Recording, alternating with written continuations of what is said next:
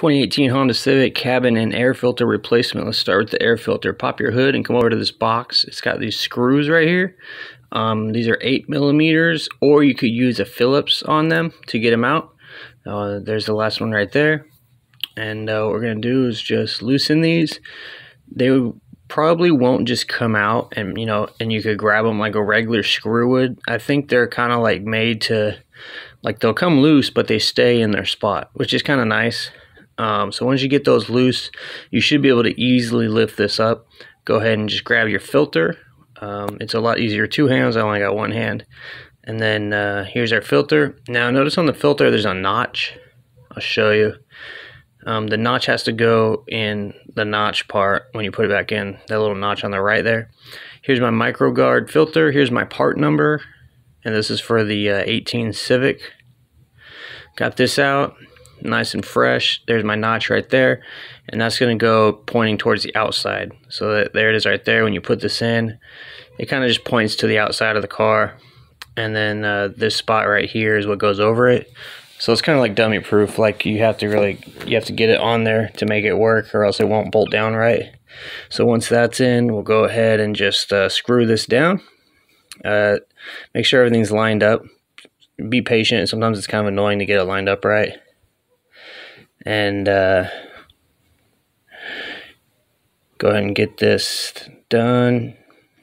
You don't got to tighten these down super tight. In fact, you could strip them out if you go too tight. Just get them snug and you'll be fine. And that's how you do your air filter. Now let's move on to the cabin filter. Uh, come in your car, open your glove box. Now get all your stuff out, anything you have inside of there. Um, you're going to pull the sides at the same time inward and then you'll lower this down. Uh, I just did it with one hand, so you should be able to do it with two hands.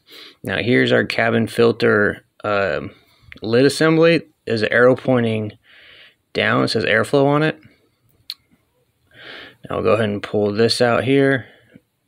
Now any leaves or debris try not to let it drop in that blower motor. Just try not to let it drop into that little area. If you get leaves and stuff in there, it'll make a loud noise when it's on high.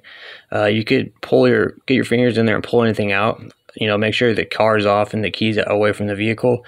Here's our new filter. Notice it says airflow pointing down. Now this is matching right here on the door. It says airflow pointing down. So you when you put it in, you'll make sure the arrow points down like that now, I've seen some people make a mistake. They try to put it in like this, and that's not the way to do it. You're going to have trouble getting it sitting up right, and the, and the lid's not going to close. So what you want to do, uh, make sure you got your airflow pointing down, but you're going to put it in uh, sideways so this fabric's on the outside, and it should just uh, go right in and sit upwards when it's in there. Put your little door lid on. This should just kind of clip into place. Just get it lined up and gently push it on. And then that'll be in place. Airflow pointing down, of course. And that's how you do your cabin filter. This one's pretty dirty. And then we'll just, um, when you get this, it can come off the hinges. But when you put it on, just line up the hinges first and then um, get those. They might have you might have to push it until they pop until they get in on the actual hinge real good. And then when you go upwards, you'll just kind of squeeze these uh, edges in again, and then get it in the place. It should just open and close fine. Shouldn't have any problems. All right, thanks for watching. Hope this video helped you out. Please like, comment, subscribe.